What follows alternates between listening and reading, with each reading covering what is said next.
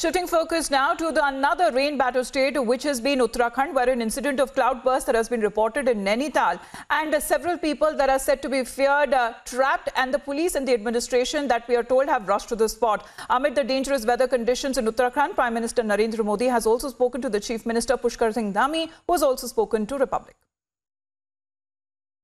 भूस्खलन हुआ है पुल टूटे हैं कई जगह पर मलबा आ गया, रोडों पर, रोडों का संपर्क टूट गया है पुल टूट गए हैं। इसके साथ साथ हमारे जो किसान बाहुल्य क्षेत्र में किसानों का बहुत नुकसान हो गया है। खड़ी फ़सल जो है पूरी तरह से बर्बाद हो गई है। लगातार हमारी सभी आपदा प्रबंधन की टीम, हमारे सभी जिलाधिकारी, पुलिस के अधीक्षक, आपदा प्रबंधन से जुड़े हुए लोग, सभी विभाग, और हर संभव जो सहायता हो सकती है, सहायता में जुटे हुए हैं। सहायता है उसको करने के लिए। लोग लगे हुए हैं, साथ में जो लोग रास्तों में फंस गए हैं, उन लोगों को भी निकालने की व्यवस्था की जा रही है। हमने तीन हेलीकॉप्टर की मांग की थी कि यहाँ पर तीन हेलीकॉप्टर तुरंत सेना के हमें दिला दिए जाएँ। तो वो हेलीकॉप्टर भी आ रहे हैं क्योंकि तो नैनीताल ज़िले में बहुत सारी जगह पर लोग अभी पूरी तरह से फंसे हुए हैं।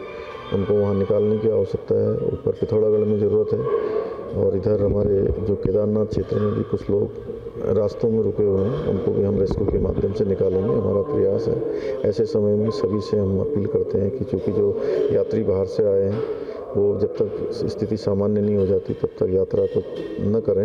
हम अगला, चूँकि हमारा जब जैसे ही सब स्थिति सामान्य हो जाएगी तो यात्रा चलने की हम लोग सूचना देंगे।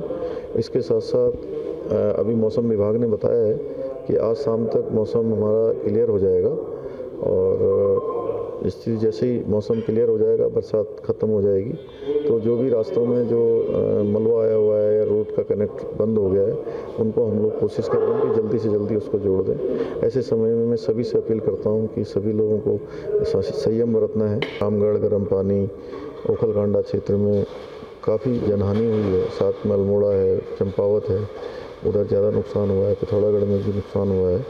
तो हमारा प्रयास है कि हम आज हम लोग वहीं से स्टे करेंगे, वहीं रहेंगे आज लोगों के बीच में और वहीं पर रहकर अभी हमने सारे कार्यक्रम अपने स्थगित किए हैं।